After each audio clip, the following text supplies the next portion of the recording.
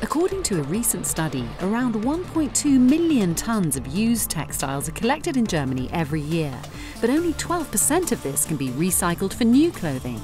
The mandate for action for the textile industry is therefore clear.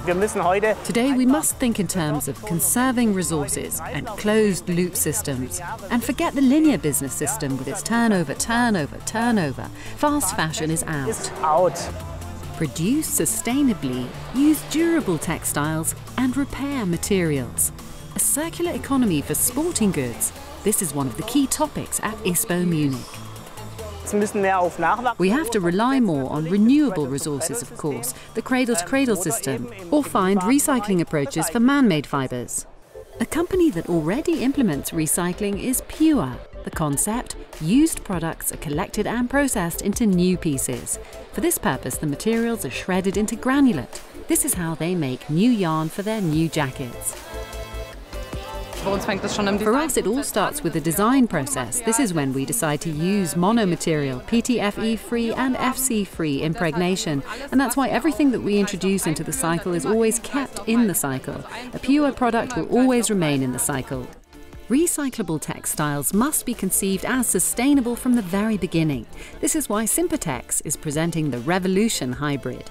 The vision? Producing functional jackets exclusively from recycled textiles. The upcycled jacket already consists of 30% collected and recycled textiles and 70% recycled plastic.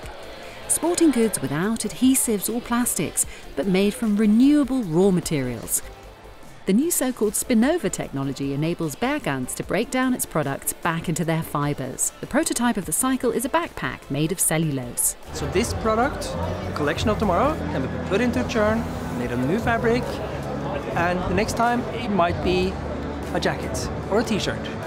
This time it is a backpack.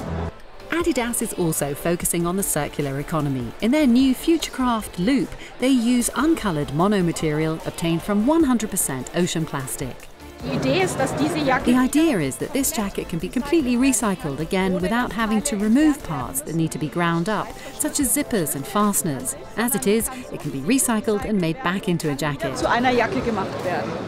Recycling management does not necessarily require a high-tech approach, it simply needs a good idea. For example, turning waste from ski fur production into belts or small bags. Textile recycling within a closed cycle. ISPO Munich presents many new facets and ideas for the future.